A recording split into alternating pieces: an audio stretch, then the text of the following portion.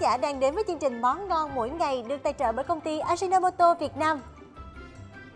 Xin chào Phước Hưng. Chào Thanh Phương, hôm nay là một cái ngày rất là đặc biệt Nhưng mà có nhớ ngày gì không nè? Ừ, thì là ngày cuối năm, ngày gần Tết Nói đùa thôi, sao Thanh Phương không biết được chứ Bởi vì Ừ. ngày hôm nay là ngày lễ tình nhân Ngày 14 tháng 2 Thôi, ủa nhưng mà từ sáng giờ có hoa chưa đó? Chưa, chưa có bông hoa nào hết trơn Phước Hưng tặng Thanh Phương đi Được rồi, vậy thì Phước Hưng xin mời tất cả quý vị chúng ta hãy cùng nhau vào bếp thực hiện một cái món lẩu với nguyên liệu là mực, Có tên gọi là lẩu hoa mực.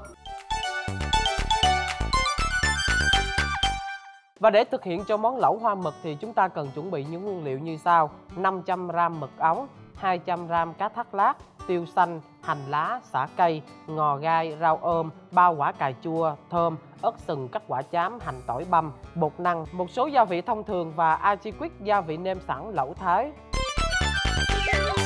Vì đây là một món lẩu nên Phước Hưng sẽ tiết kiệm thời gian hơn. Bây giờ Hưng sẽ bắt lên trên bếp khoảng 1 lít rưỡi nước. Phần cà chua thì Phước Hưng sẽ bỏ cái phần cuốn đi và chúng ta sẽ cắt muối cao. Tiếp tục thì phần thơm này thì sẽ cắt thành từng miếng vừa ăn.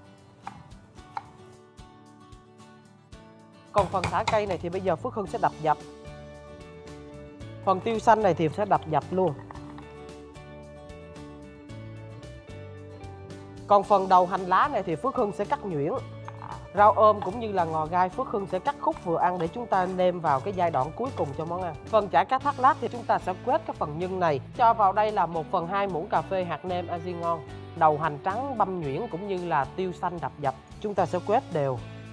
Rồi, Thanh Phương giúp dùm Hưng nha.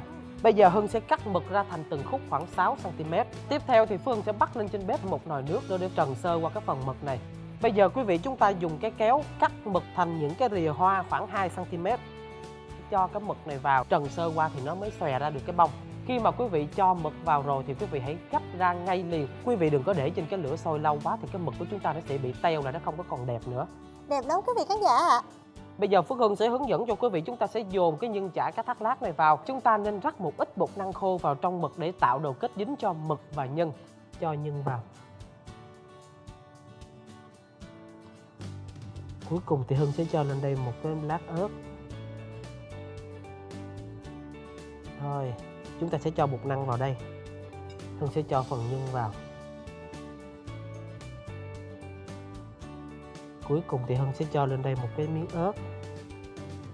Bây giờ thì phần mực của chúng ta cũng đã xong. Bắt lên trên bếp một cái chảo để chúng ta xào cái phần cà chua cũng như là thơm. Còn phần xả cây đập dập này thì sẽ cho vào cái nồi nước dùng. Chảo cũng đã nóng cho vào đây khoảng 2 muỗng canh dầu ăn. Tiếp tục cho khoảng một muỗng canh tỏi và hành tím băm. Hành tím cũng như là tỏi băm trong chảo cũng đã vừa vàng tới. Hân sẽ cho hết các phần thơm và cà chua vào đây. Và chúng ta sẽ đổ hết cái hỗn hợp này vào bên nồi nước dùng. Tiếp tục thì Hưng sẽ cho vào đây là một gói Aji Quick gia vị nêm sẵn lẩu thái Vậy tiếp theo mình sẽ cho mực vào luôn đúng không Phước Hưng? Chưa đâu Thanh Phương, chúng ta nên cho mực vào trong lúc nước đang sôi để cho mực nhanh chín và không bị tanh. Quý vị nên nhớ chúng ta hãy khuấy nhẹ tay thôi để nhị hoa đừng rời ra khỏi mực. Khi mà quý vị cho mực vào trong nồi rồi thì quý vị hãy để cho nước dùng của chúng ta sôi lại khoảng 1 đến 2 phút là món lẩu của chúng ta có thể ăn được. Hưng sẽ cho lên đây một ít rau thơm nè và bây giờ Hưng tắt bếp.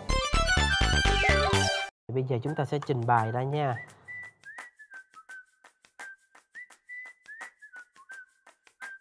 Cho lên trên đây một đọt rau ôm nè. Rồi, mời Phương. Cảm ơn Phước Hưng Uhm.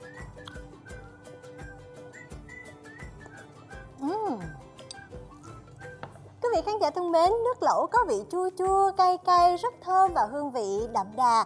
Và ngoài ra khi mà thưởng thức à, miếng mực Thanh Phương còn cảm nhận được à, độ giòn giòn của mực nè và sự kết hợp giữa mực với lại nhân vẫn còn có độ kết dính. Thanh Phương cảm thấy rất là thích món ăn ngày hôm nay đấy quý vị ạ. Phước Hưng mong là quý vị sẽ làm thành công với món lẩu này nhé.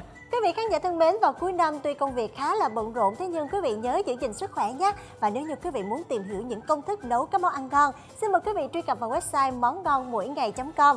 Chúc quý vị có một năm mới, nhiều thành công mới và bên cạnh đó có một ngày lễ tình nhân thật là ngọt ngào nhé. Còn bây giờ thì đầu bếp Phước Hưng cùng với Thanh Phương xin được mến chào tạm biệt và hẹn gặp lại.